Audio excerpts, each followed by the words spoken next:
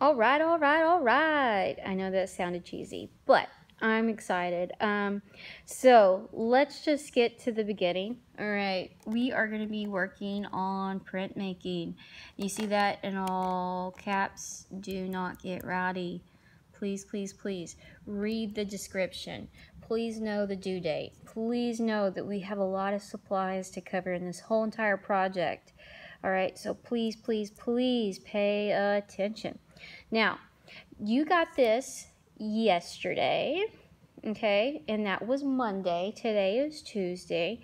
You should be watching this video on a Tuesday. Um, you need to fill this little space out for a design, okay? Now, I've told you in the past to draw light till you get it right, and here is the HB pencil. Hopefully you drew that lightly until you start giving it some darkness. Now you're also going to want to get a 4B or potentially a B, a regular B, a 2B, a 4B, a 5B, 6B, or 8B. But 4B works. So you're going to go ahead and make sure that there is plenty of graphite in the image because you want it to transfer very well. Okay, and so you really want to get these outer edges because that's what you want to uh, be able to see for whenever you start to carve. So I'm going to make sure that most of this image is well darkened. Yeah, and this right here is going to be like super tough for me. Now what I've done is I've taken the artist emoji in my iPhone and the nerdy emoji in my iPhone and I have combined them. Ooh, that looks bad. But I can fix that in the carving stage.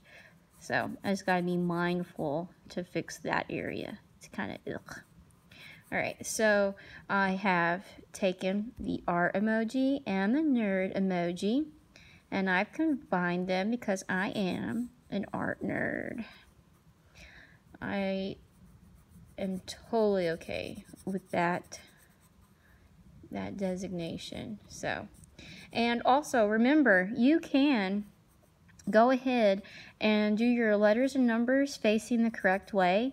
They will flip when you go to burnish to the linoleum blank.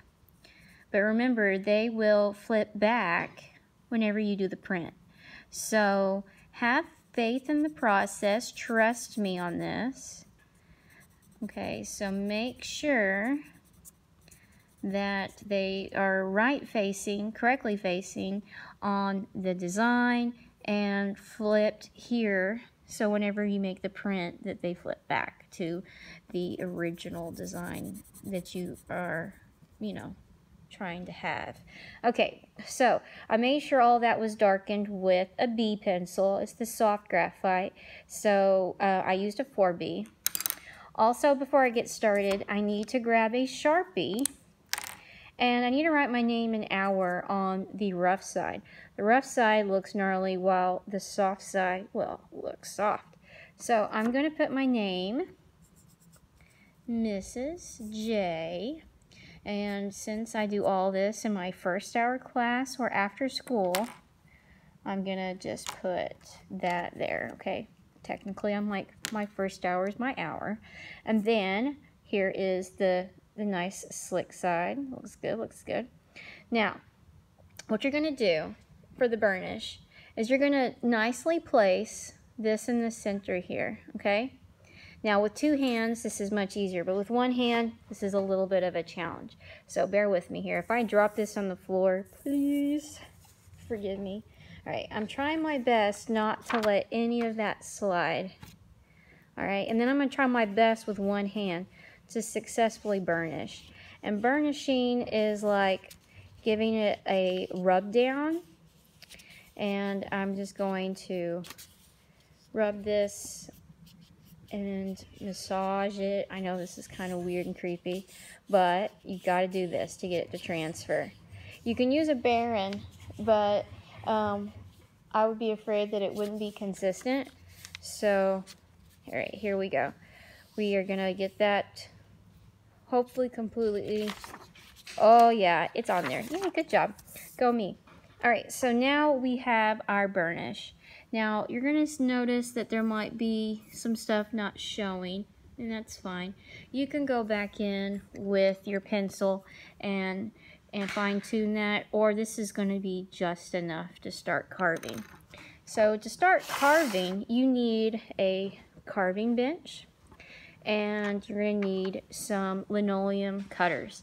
Now, what I have here is a 1. I don't know if you can see that 1. Let's see if it will focus. It's on the back of it.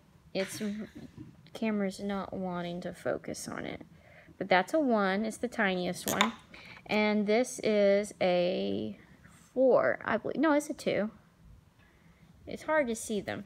They're right here in this area. It's a 2. But 2 is big enough. You can use a 4 or a 5 to really get cut away some areas. Now, I'm going to make a decision. I want to cut away everything that's not pencil because everything that is black I want to be the color of my printing ink and I want it the, the, the this part that I'm carving away to be the color of my paper either it be white or colored paper and this either be a black ink or color ink. So you need to make a decision. So anywhere that there is graphite, you need to leave or take away. And in this case, I'm going to take away where there's no graphite and I'm going to leave the graphite there, which I'm seeing that the inside of these glasses and these teeth are going to be very difficult.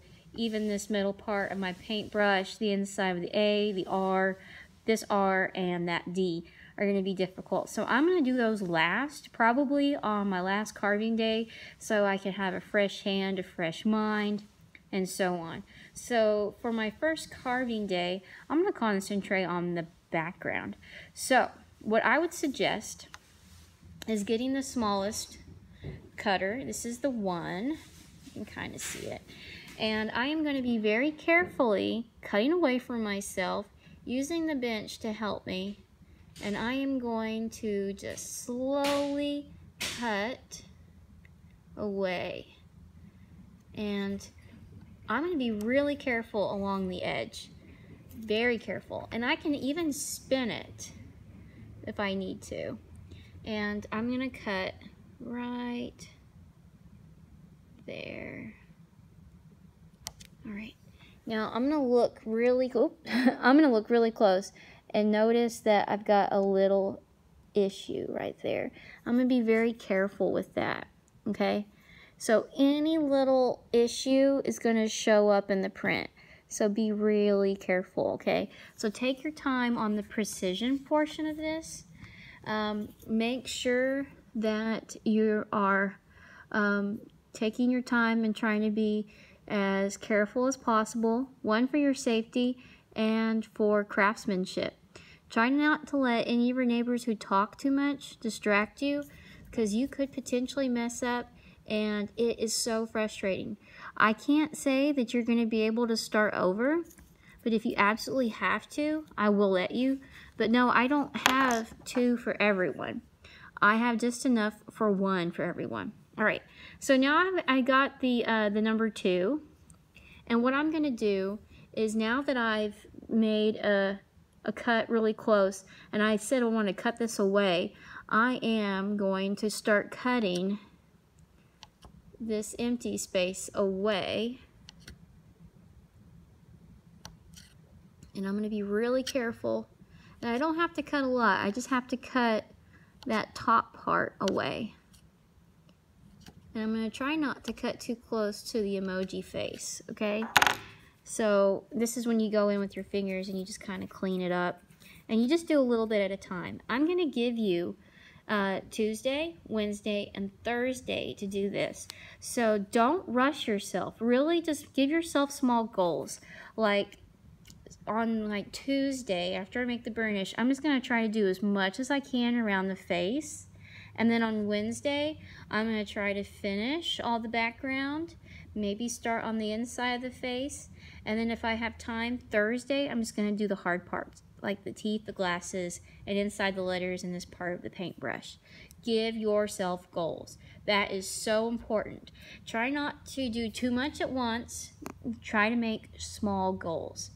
Now, um, I'm not quite sure what I want to do with all the tools. I know that I'm going to have areas over there on the countertop for supplies. But when it comes to your uh, paper here, keep this. Because what if something happens to that and you need to start over?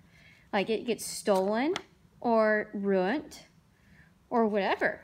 You don't want anything to happen to this because then you'll have to redraw it. So keep this and you might want to put your name on it too, okay? And I would put it with pen or marker, put your name on it, put this and your linoleum cut in your storage tub, okay? Keep it in a safe place, have your name on both because someone might take it and make it theirs and that wouldn't be nice, okay? But uh, these tools, make sure that you dust this stuff off into the floor so it gets swept and that the tools and all the supplies go properly back over to the countertop, okay? Um, this is going to be a fun assignment as long as we stay focused and we do not get rowdy. Please read this. Please be sure to be careful and safe with the linoleum cutters.